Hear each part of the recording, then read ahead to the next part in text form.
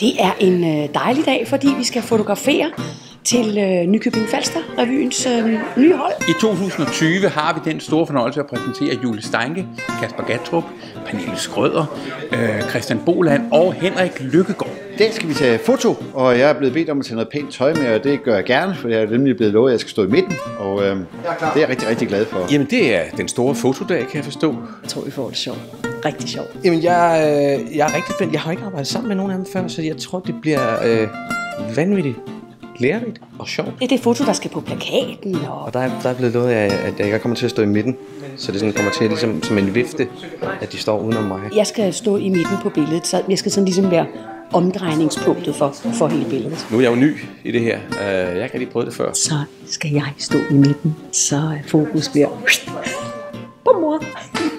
Men øh, for at gøre mig tryg, er jeg blevet lovet, at øh, jeg kan få lov til at stå i midten, øh, når vi tager billedet lige. Det er simpelthen så dejligt at møde dem alle sammen, og jeg kan mærke, at vi har ikke med store ego at gøre. Det er simpelthen holdindsats og teamplayer hele banden. Havde jeg ikke fået lov at stå i midten, så var det blevet et nej. Ej, ellers så øh, havde jeg ikke sagt ja til at, at, at være med. Ja, ellers så havde jeg nok ikke sagt ja til det jo. Men Primært grunden til, at jeg sagde ja.